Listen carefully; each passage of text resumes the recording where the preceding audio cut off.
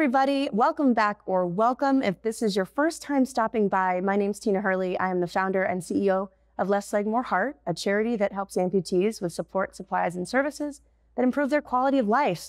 We love bringing tales of inspiration and companies that have vetted products and services for the community and the disabled community that improve the lives of folks uh, everywhere. Because the more eyes and ears see it and hear it, the more this information can spread, the more funding that we can get, and the more lives that change for the better. The better they become community members, and the better everybody is as a whole. Uh, and so today was, it's amazing to have been in this facility because today I'm at Mobius Mobility and I have the pleasure of trying out a unit today, meeting the team, and I'm sitting here with Luke.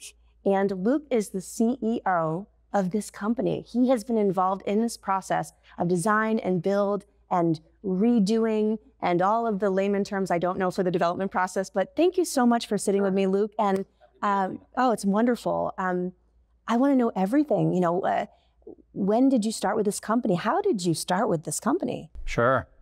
Uh, it's a long story. Uh, so buckle up. Uh, so this here at Mobius is actually the second uh, life, the second generation of the iBot. And I worked on the first generation um, a long time ago, more than 20 years ago. Um, and going even further back, the iBot was conceived and invented by Dean Kamen here in Manchester. I think a lot of folks in New Hampshire, certainly the technology world globally, and here in New Hampshire and Manchester know Dean very well. Um, and Dean actually uh, invented the iBot in the early 1990s. And he actually uh, did it because he saw a young man in a manual wheelchair up on Elm Street trying to get up, get up a curb and struggling uh, to get up a you know a five six inch curb. And he thought and, and still thinks to this day uh, that it's unreasonable and unac- unacceptable in this day and age that you know we can fly across the country, across the globe, starting to talk about people going up into outer space commercially for tourism, but we can't get folks with a disability, let alone up a curb just across town mm. from point A to B independently. Amen. And so they, uh, Dean pulled together a small team of engineers to prototype and try out a number of different concepts, um, most of which, you know, probably weren't going to be workable or reliable or meet all the mobility objectives until uh, one morning he actually slipped in the shower and to keep from falling, he whirled his hands around in a gyroscopic motion to get that counteractive force. And then he realized the time he, he told me I didn't know if it was feasible or how hard it would be, but if I wanted to get a vehicle to go where someone who walks go, it needs to do what a walking person does. And what does a walking person do? Well, they they balance. Um, and so they prototyped something up pretty quick. It worked really, really well. That's right when I got involved, is they had a, a very primitive prototype. And by prim- primitive, I mean it was uh, a gyroscope from Dean's plane, uh, a pair of bicycle chains, two uh, small underpowered electric motors from his mom's sewing machine, and a metal plate. But you could plug it in and sit on it, and this machine would balance on, on two wheels. Um, and Dean's primary business, is, business model at DEKA, which is right down the street from us, is to come up with ideas like that and because medical devices are so expensive to develop and get through the FDA, he almost always partners with a large company to help fund the development. In return for that funding and that cooperation, they get the right to market the product in a field. And so we were lucky enough to partner with Johnson & Johnson. So Fortune 50, I believe probably the largest healthcare company on the planet. Hey, my son uses their shampoo every day. Yeah, they do consumer products, and many people don't know they do consumer products, but they do a, a, lot of life sciences, pharmaceuticals, medical devices. They pioneered a lot of breakthrough products, and they were wonderful. And J and J, you know, funded the development for you know upwards of seven or eight years and almost 150 million dollars to get it fully developed through the FDA. It was there was nothing like it at the time. There frankly still isn't, but because it was brand new, we had to do clinical trials, which is pretty rare. It's actually unheard of, I think, almost in the in the wheelchair world. Just go through full clinical trials and an FDA clearance. And then Johnson & Johnson marketed and sold the device for roughly seven or eight years, from about 2003 till almost 2010. And they couldn't secure um, reimbursement uh, for the product. Um, their approach at the time was to, because it was a brand new type of product, they asked Medicare for brand new uh, reimbursement code and a reimbursement level, and were denied. And so they kept plugging away, basically trying to help people cash pay or get get insurance where they could, but couldn't make a go of it. So in 2009, they they announced that they wouldn't be manufacturing any new iBots, but to their credit, um, said they they'd keep supporting the ones in the field past their warranty date until 2014. Um, then 2014, they said we, we're, we're, stopping entirely and shut the company down. Um, and then not long after, uh, in fact, almost immediately after, I know because I I had since moved on to something else. Uh, I'm down in Massachusetts, but Dean and I have always kept in touch, and so I, I knew what was going on. Um, uh, Dean almost immediately started getting phone calls from users saying, you know, can you help? You know, I'm going to need a new iBot. This old one, you know, some of these iBots now. Imagine getting that yeah. access to life. And gets taken away. Because insurance didn't have the ability to fund, the company couldn't continue, and now you don't have the ability yeah. anymore. Yeah. That is like devastating. Yeah, it's pretty heartbreaking. Pretty heartbreaking. And Dean has a big heart. and so he was like, okay, what can we do? And again, to, to Johnson & Johnson's credit, um, I think a lot of times, you know, companies, you know, get a bad rap. Maybe they engage in bad behavior, but J&J was always awesome. You know, such a first-class group of people and company after all that investment, you know, they basically went to Dean and said, "We'll sell you the rights back for one crisp dollar bill because we think the product's good important." People. We're yeah. good people. Uh, and and you do it. You know, as, as, a public company, we can't. We have shareholders. We have to. We have to do right by them. But we believe in it. We believe in the product. keep going. Yeah. yeah. and J and J people continue to help us. Actually, you know, after we did that, and so Dean, you know, at this point, the product was probably the technology was probably, you know, more, well more than ten years old, probably close to twelve or thirteen years outdated. Um, and so Dean kicked off, you know, with his own firm and his own investment, a complete redesign of the product. Um, and so the new iBot was uh, designed and developed from about 2015 to about 2018. Um, it looks somewhat similar, but it's uh, it's quite a bit uh, more compact. It's a lot lighter weight. It has all updated electronics and probably the biggest change, and we did this with the support of the user community who came down to testify to the FDA, is the first iBot was was approved as a class three medical device, okay. which is basically the highest tier of FDA oversight because there was nothing nothing like it okay. um, to compare it to. Right. And because of the track record of that first version, where you know give or take, you they they sold about about eight seven or eight hundred units. You sit in a wheelchair 14, 15, 16 hours a day, seven days a week, you can easily come up, you do the math, it's well over 10 million hours of operation that was safe and effective. And so when we went back through to the FDA to get cleared, um, with users coming with us to testify, we asked, could you make it a class two device? And what that means, what that helped us do is the new iBot um, is is the seating, everything up from the power base can be completely configured and changed for each user. So great. Which is a big deal, it's right? A big deal. The old iBot had one seat, that's all you got. We couldn't change it um, because you'd have to go back through the FDA. The new iBot, for every user that comes through, we can configure a seat nice. just for them. And so we sold um, our first new, of the new iBot in December of 2019. Actually, the gentleman in the team is right above you in that picture. Oh, nice. Yep. Um, that's the very first one. Uh, oh, timing wasn't so great. December of 19, pandemic starts uh, roughly six weeks later. Um, so we had to go quiet and work from home. We do have a, you know, a business where we have to be here. We right. build things. We work. Yes. We have work with users. We've got hands-on users up close, and so we basically shut down um, for you know most of 2020. 2021 was the year when we were sort of back up and running after the pandemic. Uh, 2022 was awesome. Um, a big push starting in in 2021 was to see if we get insurance coverage right. for the iBot. Um, insurance on these?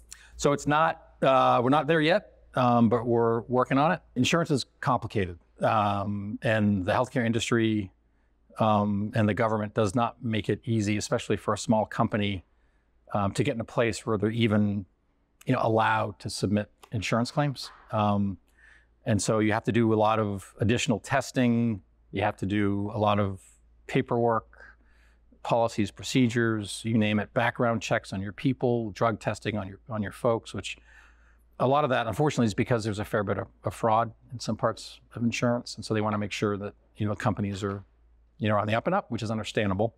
Um, but we're doing well, I it. mean, if the FDA is giving you a green light, you know, and then you're having to sort of redo stuff, I can I can see how that's a yeah lot. one of the one of the one of the things you learn and about um, unfortunately about the government is is just because one federal agency Yeah. says one thing does not mean that that the other agency It's like they're will not agree. as a disjointed thing. Yeah, and the, the- people that suffer from that lack of connectivity is the people that are stuck under Yeah. those curbs, and you know the everyday person that just needs Yeah. the extra help, which is sad. So I think you know I can't I can't unfortunately because it's out of our control. I can't give a time frame as to when it's going to happen, but I'm um, confident it, it will at some and point. that really is the difference. Funding is the only limitation to these people having access to these devices to help them live their best lives, right? Agreed. Yeah, totally. I mean, the, the the thing that I often say to the to the insurance folks and the regulators is, this isn't a research project. This isn't a drug which might be ten years out. We're not looking to do a clinical trial. ready. This product exists now. Yeah. It's been cleared by the It's FDA sitting here already. like it's in a Yep. car lot. It's made in the USA. yeah. We know how to fit people to it. We know how to Yes. train You're people to it. manufacturing in house with products that are in the same building. Yeah, yeah. It's all know? made here in Manchester. Right. Um, so it's available now, and that is frustrating when when you've got a product which, and you just tried it. Um, but I've I've never. The reason I came back when Dean asked me to come back and and and run Mobius Mobility for him was I've never seen a product which makes people so happy instantaneously. It's because of, Um, it's because you your whole world that's been closed in because of all of the obstacles in everyday life that make it them big barriers that you cannot traverse with the technology that you have. You're used to just graying out all the color in your life to this one spot and you accept it.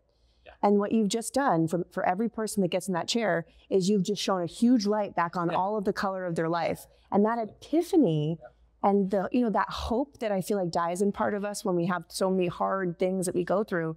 You've just given that back to everybody and, and then to try it. And if I needed it 100% of the time, to be able to try it like that and not be able to use it because of money, So one of one of my personal favorite things to do, and you'll hear this a lot from people that work at Mobius, is the first few times, and even even after someone's had an iBot for a while, is just going out in town around with someone, and especially if they're a new user and you come up to a curb and there's no curb cut, or you come up to some steps at a restaurant, and they kind of for a minute they look a little like, what are we going to do? Yeah. Like, what are you going to do? You're going to Go you're gonna, you're gonna head up and we're gonna go in. Well, I was just telling the team, you know, when you're in front of the obstacle or at the top of the stairs or in a place naturally, it's a visceral reaction as a user that otherwise is in a place of either danger or lack of access because of years and years and decades of that self ingrained thought. So there is that, I'm sure, barrier of like comfort for people to go, I can do it. Wow, I can do it.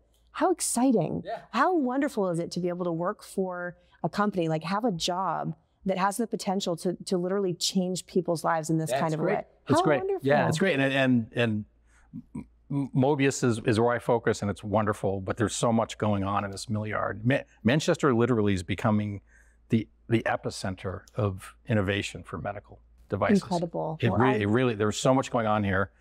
You you'd need a whole like weekend of show to cover it. It well, goes we on can and make on. it and happen. Yeah. you- if you Yeah, yeah, yeah, share, yeah, you on. Yeah, but so right now we're like we're like you said we're we're building iBots. We've got users out um, in many states across the country. Um, we're providing iBots overseas in Europe in several countries, and we're cranking away on this insurance thing. And um, you know, one thing people should be aware of, and you you just touched on it. It's a key distinction that a lot of a lot of folks outside um, our outside the disability community and outside of our our industry don't realize is is there is actually you know a law a regulation on the books at Medicare that says that Medicare will only reimburse for a mobility device to the extent it's needed for mobility related activities of daily living inside the home. That one line is why all this is so difficult. And if the government, and I don't think it's going to happen at Medicare, I think it needs to happen through Congress with legislation, would just say those same MRADLs in the home and just add and in the community with you a know what? Those same people that made those rules, as someone that's had several, several surgeries that has been homebound and isolated in a home without fresh air, without direct sunlight, um, those people obviously have not been in that position in their life because the mental health and the just life force dep- depletion that I experienced from just months of that, not years like some of these chronically ill people that need these chairs. I mean, we are basically plants. Like we need light and we need air to function, to to be vibrant, to have zest, just to be clean. Yeah, and guess what? All your friends and family want, they feel that too. You're not out with them, and that affects them too. everybody. So you need it, but so does everybody else. It's it okay doesn't. if you None have- of it makes any sense. it's okay if you never go to like one of your children's softball games, Yeah, right? It's you're right. okay if you It's just okay. are absent Yeah. as a parent. Exactly. It's sickening. Or you can't go to church, or you can't go to see your parents. So it's un, yeah, it's unacceptable. And so that that is a problem, which frankly is is a lot bigger than Mobius, and I think is gonna is gonna. If I say anything to, to you to your to your viewership, and by the way, the, the New Hampshire congressional delegation has been wonderful. They've been very supportive of us. Is to work with them and work with if you're another state and let con- your Congress people know that this this needs to change. And it's not like it is not a budget buster. Like I understand, like health, there's not a lot of extra money lying around the healthcare system, and Medicare is financially challenged. Everybody knows that. This is not. You're not talking about a ton of people, and you're talking about if you could get them out to your point in the community, they'll be healthier, they'll be happier, they'll be more employed. It, it just doesn't make any sense, and, and getting the system to get out of its own way to do that is is going to take. Um, And it's, it's- going to take a lot of effort from a lot of people. yeah, and this put it that isn't the only industry that's. I mean, the the system as a whole. I mean, working as a clinician and with a lot of different professions and DME suppliers, uh, it's just there's there's a lot of system failures that culminate in. Uh, in this is in circles and it's an uphill battle and i'm just so grateful that there are companies and leaders like you that are out there banging down the doors and really pushing because otherwise if you guys and dean weren't so passionate about bringing this to help people it, it could have died like it was almost on en route to do but so many people have believed in it and just pushed and pushed and pushed against such tremendous resistance because it because it matters and that's just so amazing. I mean if i had anything to say to our viewers i would say number one if you see things coming up for companies like this where there is a meeting of minds and any kind of statespersons where your opinion is going to be aired out attend it you know submit a virtual vote or or testimony whatever you can do. But also consider donating your funds or sponsoring funds as a company to provide these chairs for people. At this time because insurance isn't funding it it's either self-funded by the by the person and their family or it's or money is raised. And it's not an insurmountable amount of money that it can't be done for people that need it. You know it's a $32000 base price i think. And i mean you're, you're talking about buying a res- relatively low end vehicle for someone that does all the things and goes all the places in their home and their life. I mean, that's the investment in their quality of life that you're able to make. And um, so, right now, the nonprofit sector and philanthropic, loving, kind community members like you are the people that are making this accessible for people that need it. So, if you haven't already, make sure that you've checked out um, this company. I look into iBot. You can DM us, message us for more information. Luke, thank you so much for your time. Thank you for sharing the back end information. Thank you, Dean, for doing all of the things that you do to make this world a better place. And for everyone that stopped in today, I hope that you come back again. And as always, make sure to put your best foot forward.